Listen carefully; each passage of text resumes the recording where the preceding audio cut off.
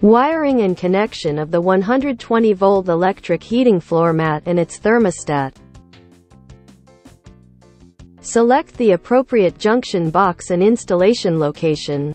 Then install the thermostat junction box for the electric floor heating mat. A good solution is to install a 4x4 by 2 and 1 8 inch metal junction box that will fit the cable and thermostat. The thermostat should be installed 60 inches from the floor. Open one of the knockouts in the junction box and install the approved cable connector. Install the cable and insert it into the cable connector. The NEC does not strictly require a dedicated circuit for radiant electric floor heating, but does require the manufacturer's instructions to be followed. NEC 2020 Article 110.3, b. The manufacturer's instructions state that electric underfloor heating should be powered from a dedicated electric circuit.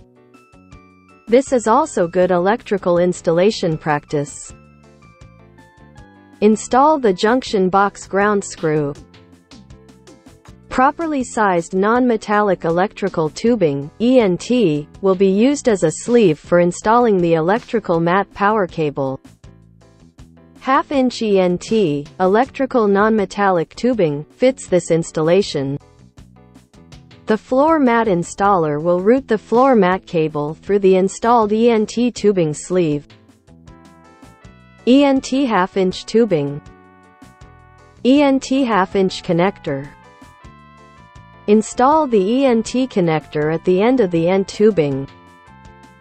Open the knockout in the junction box to install the ENT tubing connector.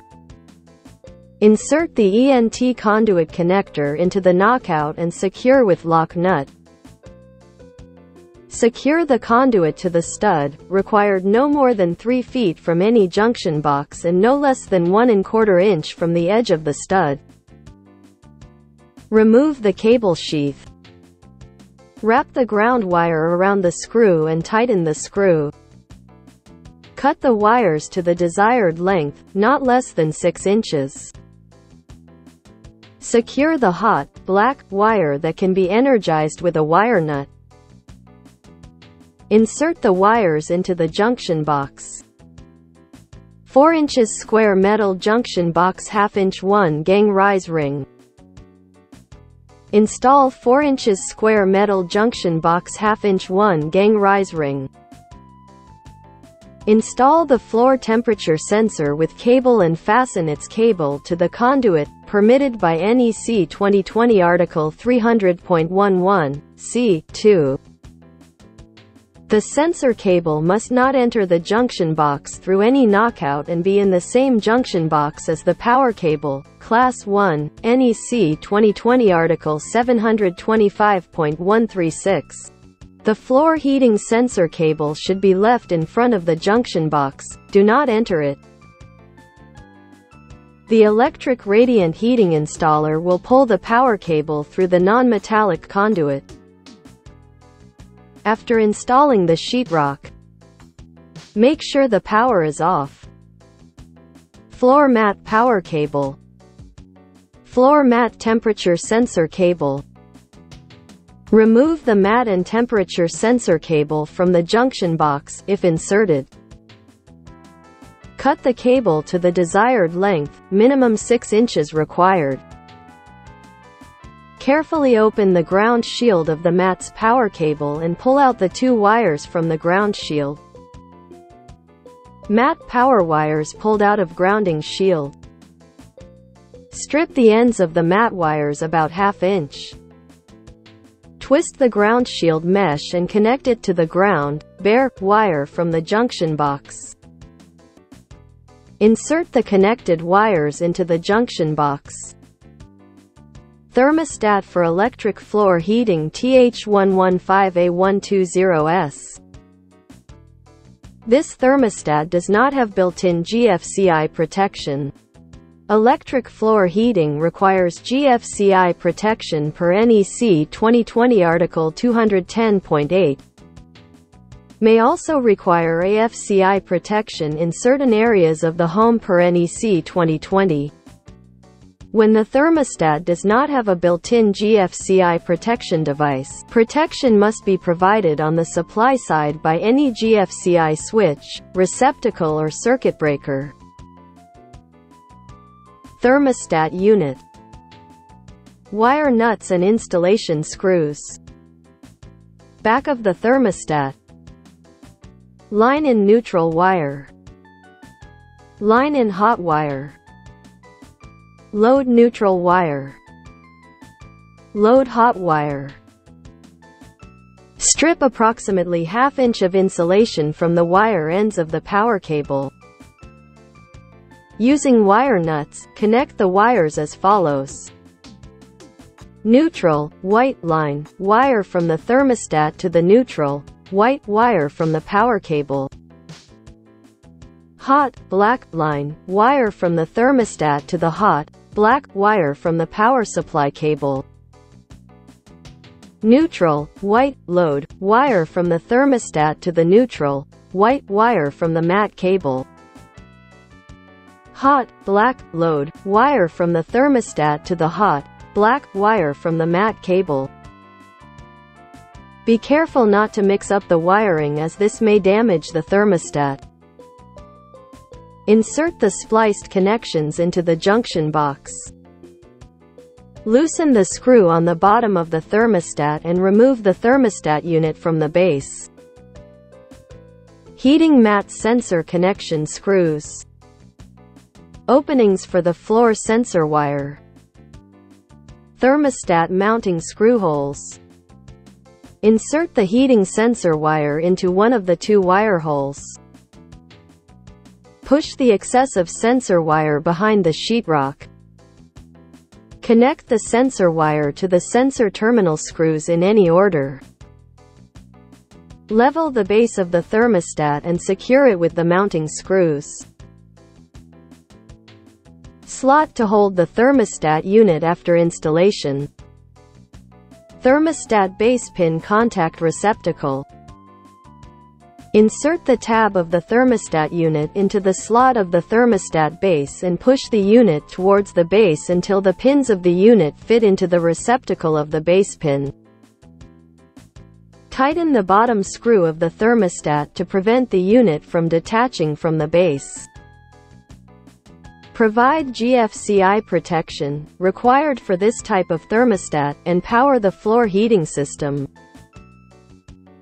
Follow the instruction to set the thermostat. Example of installing a thermostat with built-in GFCI protection. Thermostat connection junction box before sheetrock installation.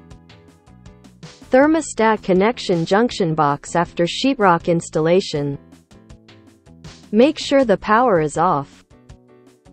Power supply cable. Floor mat power cable. Floor mat sensor wire. OJ Microline UDG 4999 thermostat. Thermostat package contains Thermostat unit. Installation screws. Instruction. Thermostat front view. Thermostat back view Remove the protective cover from the connection terminals. L1, L, line hot connection terminal. L2, N, line neutral connection terminal. Load terminals. GFCI test button. Screw that secures the thermostat faceplate to the base. Loosen the securing screw and pull the main thermostat unit away from the base. Connection terminals of the floor temperature sensor.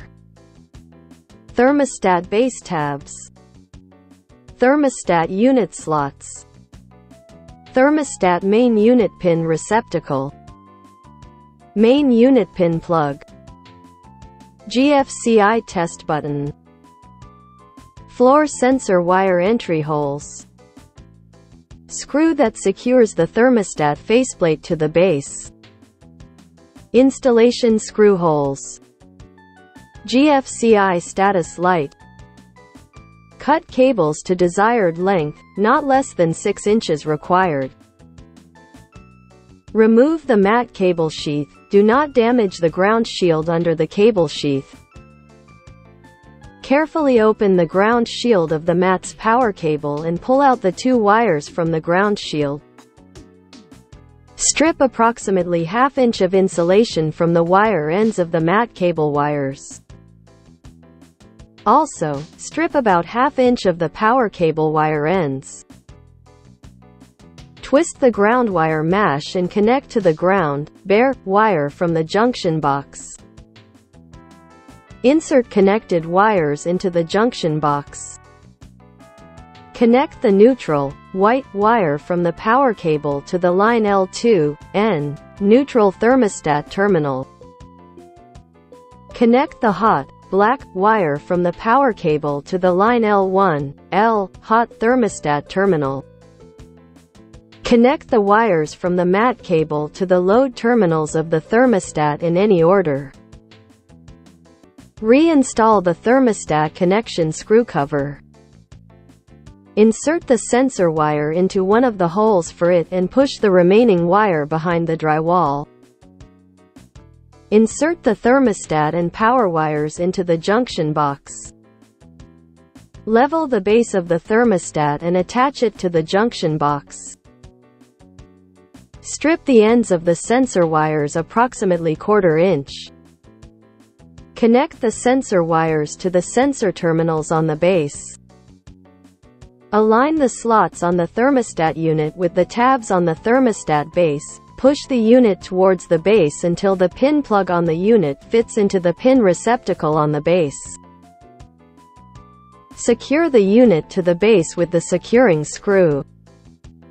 Power on the thermostat and turn on the thermostat by pressing the On button. Press the GFCI test button to test the GFCI. The thermostat will shut down, the red GFCI status light will flash and the screen will show, ground fault. Reset the GFCI by pressing the power button. Follow the instruction to set the thermostat. If this video is helpful please subscribe. Comments are welcome.